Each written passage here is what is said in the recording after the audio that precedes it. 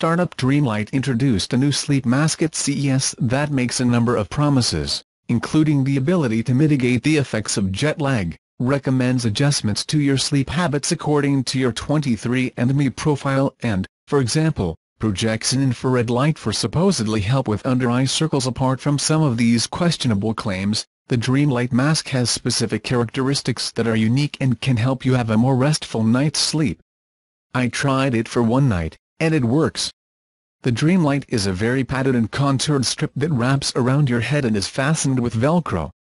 The design aims to extend the pressure applied to the face and block as much light as possible. It also has an optical heart rate monitor, infrared sensors, accelerometers, gyroscopes and four speakers embedded in the sides. Like most other products, there is an accompanying application.